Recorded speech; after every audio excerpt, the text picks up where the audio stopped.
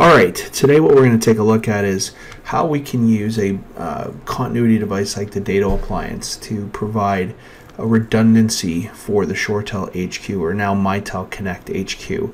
Um, and what we'll take a look here is here's an overview of the diagram. So what I have right now is I got a virtual virtual server VM host that's got an HQ server and a virtual IP switch, and they're both um, on the 20 network. So my HQ is 192.168.20.225 my virtual IP server or I switch is on 20.200 and my client, which will be videoing right now, is 20.195. Now the key thing here is I want to make sure that my DNS is pointed to demohq.lantelligence.com, which is this IP address, because when we fail over, we're just going to update the DNS so that it points to this, which is 192.168.4.55. So what we're going to try to accomplish today is we're going to take an existing snapshot and spin it up on 4.0 and 4.55 and get the ShoreTel HQ to recognize it, my clients to work and my switches to work and everything to come into play. All right, the first thing we're going to look at is our VM. So we're going to log into um, vSphere and wait for that to come up.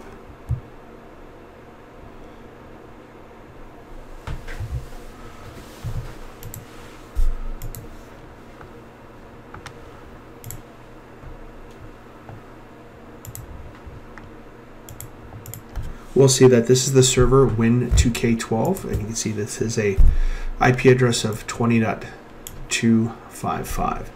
So what we'll do is we'll just open a console session here.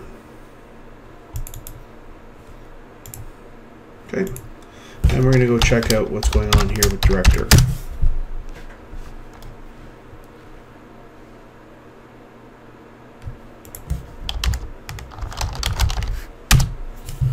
Alright, so we're going to fire up director.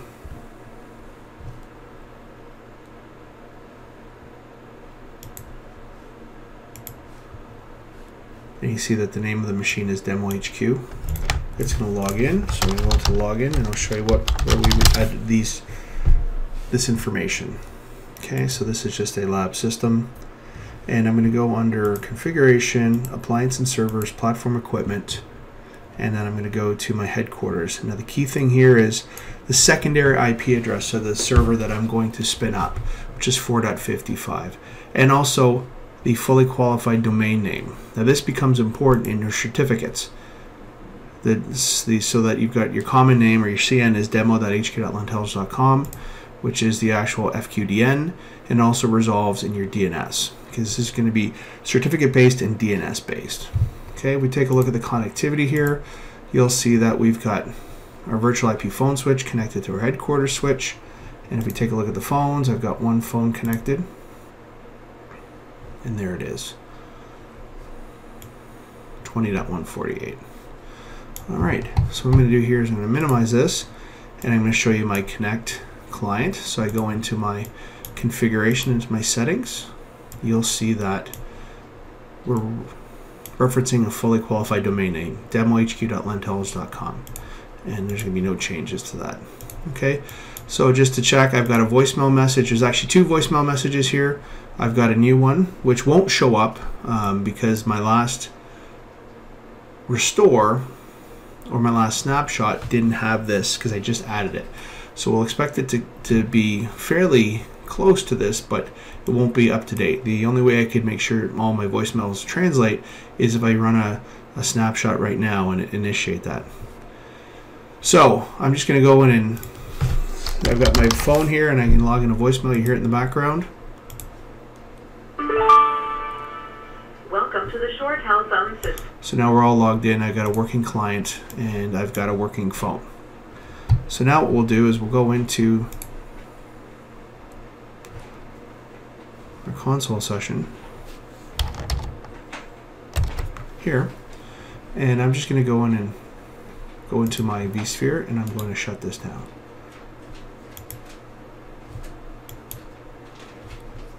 So what you see this is disconnected. So if I minimize this, you're going to see that eventually my Connect director, my Connect client is going to timeout saying server not available. And what I'll do here is I'll bring up a command prompt so we can take a look. CMD. And I'm going to go in here and say ping 192.168.20.225. Not responding. And also an NS lookup of demohq.lantelligence.com. And you see that it's still resolving at 20.225. So what I'm going to do now is I'm just going to log into my DNS and I'm going to change that pointer. So give me one second. All right, so I've logged into my DNS server and you can see that I'm unable to connect to the servers here. Uh, and I'm going to go and do my NS lookup again. And what I should see is that it's pointing to the new server. So let's say demohq.lantelligence.com and it's now pointing to four. Now it's pointing to 4.55. Now it's still not going to work because technically I don't have that server spun up. So let's go and spin up that server right now. All right, so what we've done now is we've actually taken this device offline. So it's no longer online. So we're now going to go check and bring up the 4.55. All right, in the Datto portal, I'm going to go in here and I'm actually going to say, I'm going to start this VM, and this is a restored version from 12 o'clock yesterday. I'm going to start this VM. Now I already know that this is actually going to start and probably be a 4.55 because I had that configured for 4.55. Because part of the pre-work here is you have to go in and, and basically configure a snapshot, set it to the right IP addresses so that you can fail over to it. All right, and what I'm going to do here is I'm just going to ping 192.168.455. All right, and I'm also going to ping demohq.lantelligence.com. Whoops. It hasn't updated yet. So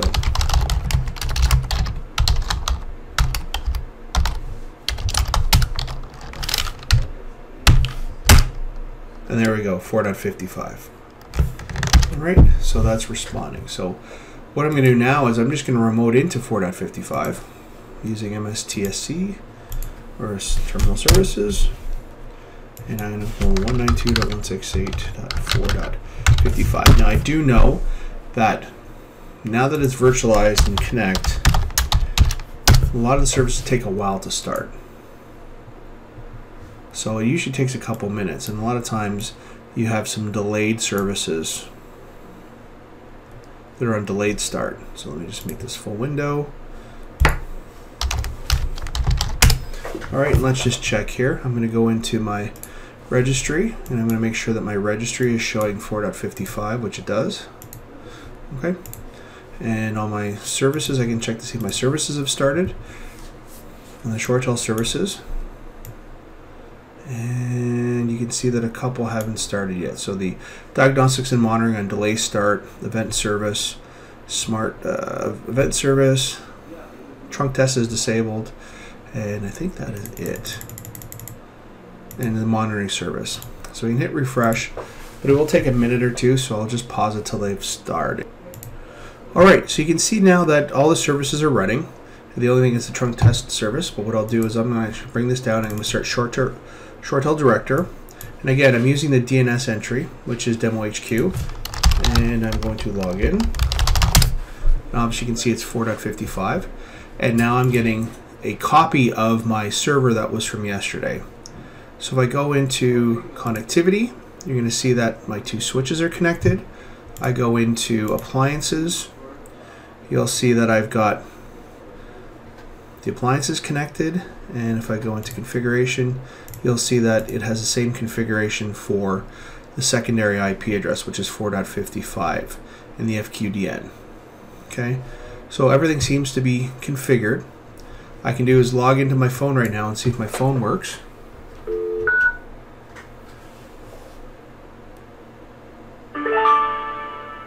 Welcome to the ShoreTel So the phone works. And what we can also see is that the can, cannot connect the server has actually gone away. And I'll just go back here and I'll take another look at the settings and we're still pointing to demohq.lantelligence.com. All right. So what we've been able to do is we've been able to, and I'm going to use the communicator here and just see if I can log in a voicemail. Connect client, sorry. Welcome to to the ShoreTel phone system. Please enter your password followed by pound. All right, so we can do that. So we're just going to go back to what we are looking at before is that we took down 20.255. The Datto appliance had a snapshot that we were it's doing incremental backups so that we can restore 4.55 and we used yesterday at noon I could have I could have run the um, the backup or the restore more sooner um, but what happens is I've actually got this now configured. So this is now about 10 minutes almost 11 minutes in this video and I'm going to bring down the primary HQ server bring up the secondary server uh, in less than 10 minutes. And if we take a look here last thing I'll show you is remember when we actually started this off I had two voicemails? If I go into my voicemail tab here you can see I only have one. Because the snapshot I took was actually prior to me adding that second voicemail. So it is restored. It is a little um, uh, it doesn't have the data from the last restore but in in that situation what we would do is we'd go back into the data plan here and we'd actually have to restore it from a new virtualize it in locally because it's actually being done on the local virtualization and we'd have to actually restore it to our latest snapshot to get the most accurate so um, that's basically using Datto to take its snapshot and its, its continuity service to provide redundancy for your HQ servers and I've actually brought it up on two different networks with two different IPs and um, that's it. So if you are someone who used double take and had to struggle through the days with double take and um, all the issues, which I certainly had to, this is a, a much easier and faster way of doing it. Thanks and have a great day.